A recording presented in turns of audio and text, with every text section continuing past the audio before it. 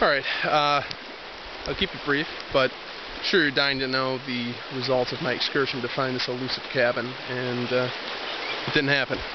So, we're going to spend the night out here, and uh, we're fine with that, because what are we going to do? Stay in the cabin every night? That mm, doesn't make sense. So, leave you with the beautiful Savage River, and uh, until tomorrow morning.